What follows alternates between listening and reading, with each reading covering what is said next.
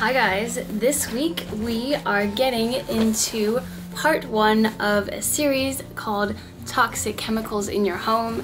This is part one. Today we're talking about household cleaners.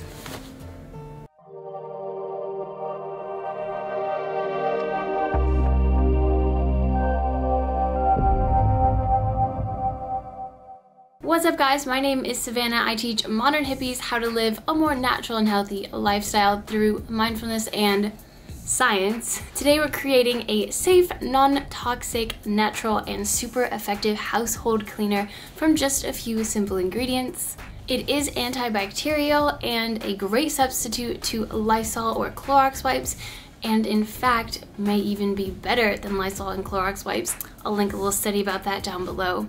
It's also safer for food preparation areas and young children, so if you're interested in this quick little fun DIY to create a more natural yet better household cleaner, then definitely keep on watching. Before we dive in, won't you be an absolute babe and hit that subscribe button? I put out new videos every single week. So here is what you're going to need a spray bottle. I recommend a glass one, just lasts longer, no BPA from plastic degradation. A small container, I'm gonna be using this test tube today.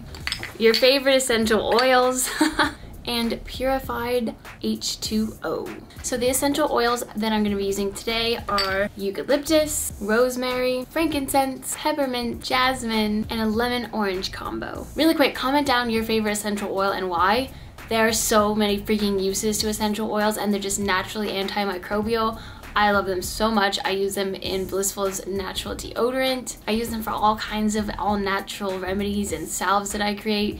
They are a godsend. I'm gonna link below my favorite brand. Go check that out. And um, according to this list, the best antibacterial oils are peppermint, tea tree, lavender, eucalyptus, oregano, palmarosa, orange, lemongrass, geranium, and citronella. So if you don't have any yet or you have any of those, those are the ones that are going to be the most antibacterial, so pick those, or at least one of them. And I'm going to link my YouTube video right here about essential oils FAQ. If you don't know anything about them, go have a look. So step one is to open up your bottle, get it ready, because we're going to pour some stuff in it. Step two is going to be to add your essential oils blend to your smaller secondary container.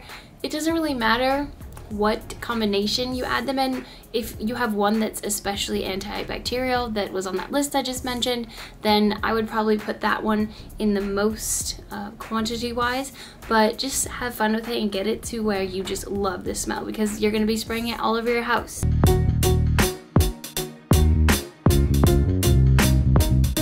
So once you've added them all, give it a nice little swirl, whatever container it is in. You're going to add that to your bottle. And see how this bottle is amber colored?